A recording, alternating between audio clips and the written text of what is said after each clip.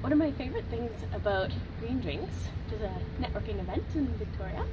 is Christopher's personal connections. And there's something so valuable about somebody introducing you to another person because they think that you have something in common or that uh, it would be beneficial for you two to at least have that moment to connect